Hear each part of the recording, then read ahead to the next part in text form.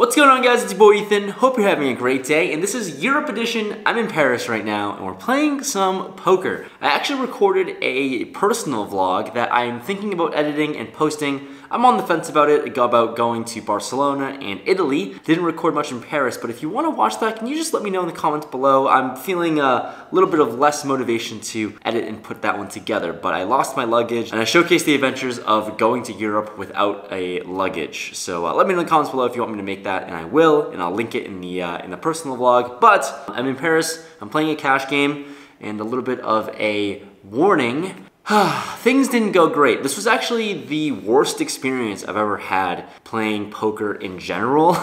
Uh, which is really unfortunate, but I did want to showcase it, showcase some transparency. Uh, it affects my play as a heads up, so something about in Paris. I, me and my friends went to play some cash games because, you know, in a new city, first time in Europe, and they just treated us pretty poorly. I got pretty upset. Uh, my friends got jumped on the wait list. You know, me, us, three of us were on the 10-20 wait list back to back to back. Somehow, like an hour into waiting, my the friend that was number third got dropped down to like sixth for no reason. He got jumped in the line. We asked, hey, what the hell? They were like, nothing we can do. You just got jumped, and like it is what it is. So uh, I was pretty furious about that. They didn't treat us super well, and oh well. All of that led to a lot of freaking tilt while I'm playing this game. Also, the rake is insanely high. Uh, they take 100 euros basically every single hand. Um, they charge 20 euros per drink. And so I was a couple drinks in already. They are literally taking so many chips out of the pot in the middle. Um, overall experience is bad, but I'm showing you guys this video. It's a cash game. It gets wild. So giving you a warning that this video is not like the others. So I'm done talking. Um, yeah, I have a personal vlog coming if you want to see it. This video of cash games is a little bit ridiculous, but first time in Europe, had to play some cash games here in Paris. Good luck. Good luck to me, and let's get into the hands. I buy in for the maximum of 20,000 euro and let's get involved in the very first deal. I pick up ace king offsuit in the big blind and we're getting in here. There's a cutoff player who limps and then a button raised to 80. Certainly going to be putting in a three bet and we're getting involved immediately right off the bat. I three bet to 300 and when the cutoff limper gets out of the way, the button does end up making the calls. So we're going to a flop of 9, 4, 6, two clubs. Here, this flop is is not so great, to be quite honest with you. And I actually start off with a check on a flop that should favor my opponent more than me. And my opponent ends up checking this one back. And we're going to a turn which comes a 6. So Board is paired. It's a card that now should favor me a little bit. All my overpairs should feel like the nuts, and I'm going to rep like I have one of those overpairs. I decide to fire out 800 euro, and snippety snap, my opponent ends up folding. So we get involved right off the bat, winning over 300 euro in the very first hand. It's a good start, and hopefully good things to come. And the next hand we get involved in, there's a 40 euro straddle on, and I pick up pocket nines in the hijack. There's a low jack player who opens it up to 120. Player to my right and looks like a recreational player. Seems like someone who would be raising a relatively narrow range. So I'd make the call, and our buddy Wolfgang in the small blind makes the call as well. So three ways to a flop of six, five, deuce, two diamonds. Another low flop here, but one that now should actually be better for me because I have an overpair, and my opponent ends up c-betting 100. Well, not going to go anywhere. I make the call with my overpair that I think raising is a little bit of an overplay. So we're going heads up to a turn, which comes a seven. Improved to a gutter now as I have a straight draw along with it. And my opponent decides to blast out 600. 600 euro to go, and this is a really, really big bet. I'm kind of confused as to what to make of it. Honestly, I kind of thought about folding because I don't think my opponent's really going to be bluffing here too much, but you know, we don't come to Paris to fold over pairs. I also have a straight draw to go along with that, so I'm going to make the call one more time, hoping my opponent can shut down on the river here. River comes the deuce of spades, and it's a complete brick here. My opponent thinks about it for a while and he ends up checking. Oh, thank goodness. I snap check this one back and my opponent shows ace king himself and this pair of nines is going to win it. Very interesting for him to blast so much on a turn card like this. And luckily, he didn't pull the trigger of going all in on the river because I probably would have folded. Anyways, we don't need to let our opponent know that. We're going to the next hand where I'm in the 40 euro straddle now with Jack 9 of spades. There's an early position player who limps, and my friend Steven raises to 160. Well, seems like a fun hand to make the call with. He's on the button, I'm out of position. Let's battle against our buddy. I make the call, and the limper folds. So going heads up to a flop of 10, 10, 9, rainbow. I check it over to him with a pair, and he bets 100.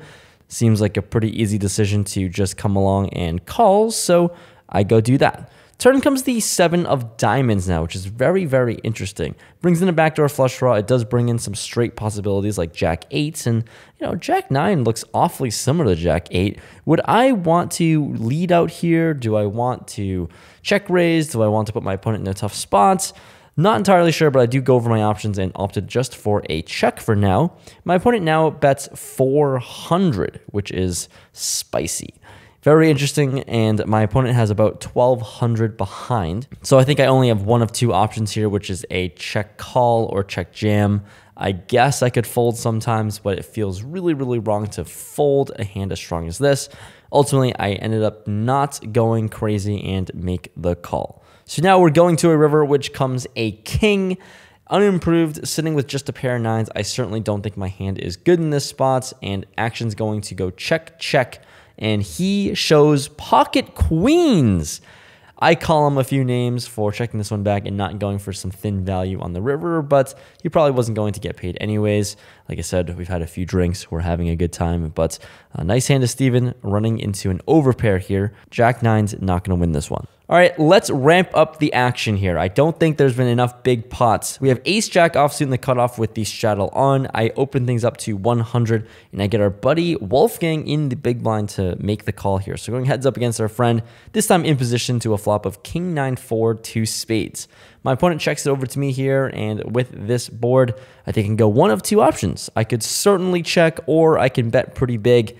And, you know, uh, given the environment we're in right now, I am on ultra aggressive mode. I bet big to 200, close to the size of the pot here, and my opponent makes the call. So we're going to a turn, which is a pretty good one in a 10.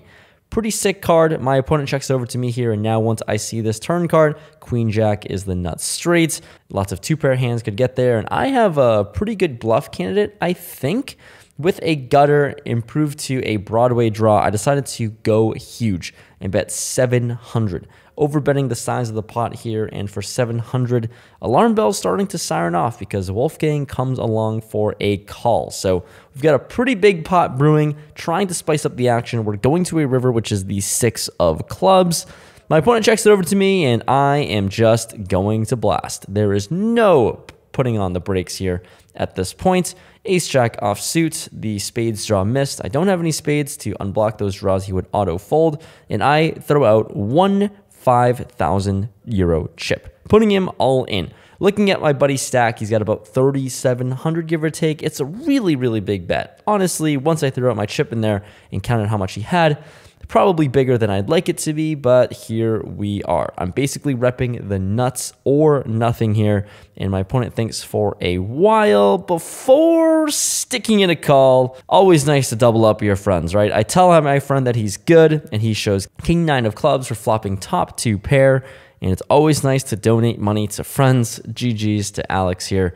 He's going to win this one, and yeah, just like that. Our first very significant pot of the night. I'm punting and doubling up an opponent. Oh, the fun doesn't stop here because the next hand I pick up Queen 3 of clubs. I decided to put in the 80 euro blind raise over the straddle because that's what you do when, uh, you know, things are not going your way. Put in the blind raise. Anyways, Steven, the big blind, our buddy, raises it up to 260. Two suited cards. I'm never folding. I make the call. We're going in position, and the flop comes king four five. Two diamonds in the club here. My opponent Steven starts off with a bet of 130, and you're probably thinking, how is this hand even significant?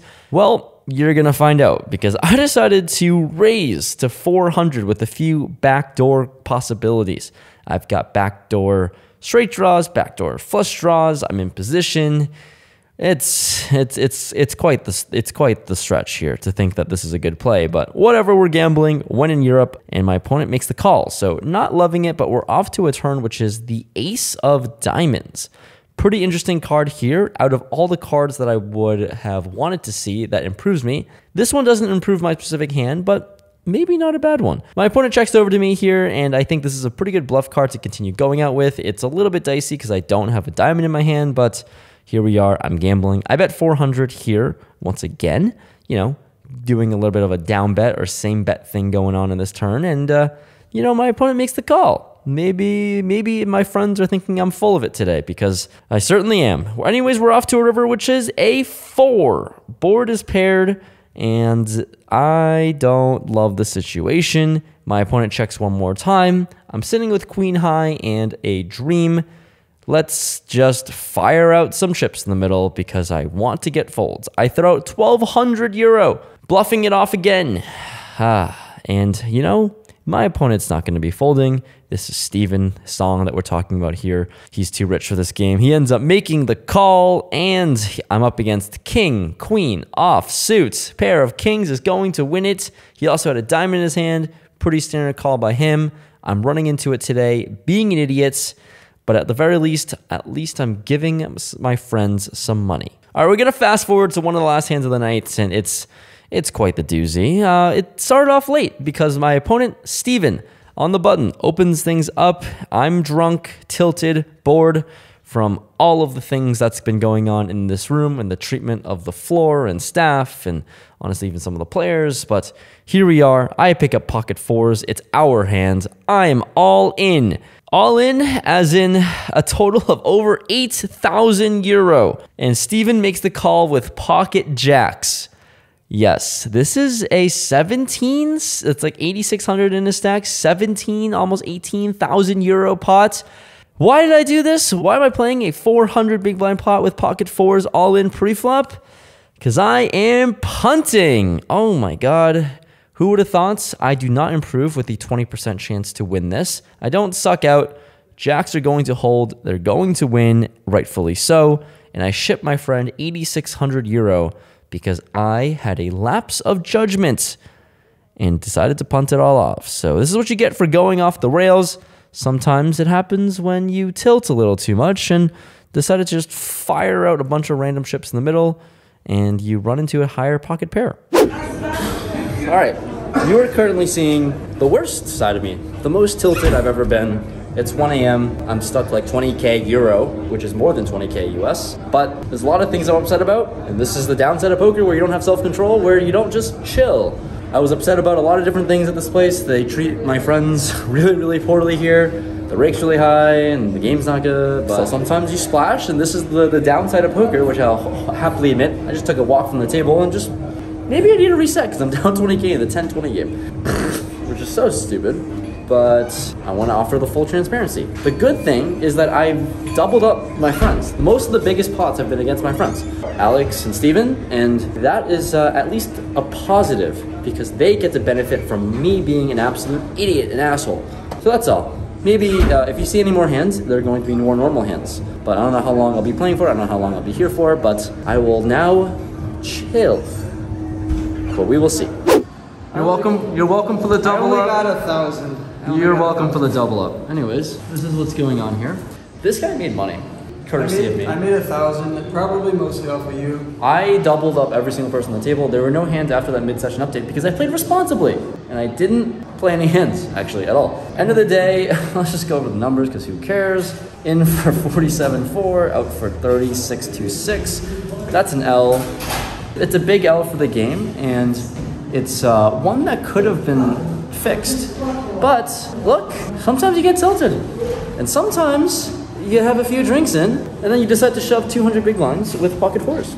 It was the exact same suit, so that, that I won the bracelet with. And you know, sometimes you gamble, and sometimes you just get absolutely wrecked. So that's the that, that's, that's what happened today. You already heard my thoughts on the mid-session update. I mean, cash games in Europe, cash games in Paris, pretty rough. Like Floors don't give a shit about you. They rake infinite money. Overall, pretty negative experience here, unfortunately. First time here playing in Paris. Uh, I had a fun time in Barcelona, but here, not so great because uh, floors just rude. Player appreciation at an all-time low here. The room was very nice, I'll give them that. But there's just nothing to give back to the players. If anything, they're taking everything away from the players. It's Yeah. sad. So if you're gonna come to Paris, just sightsee. Maybe play at some tournaments because that's reasonable. But cash game's not the best. We'll see if I play any more cash later this week.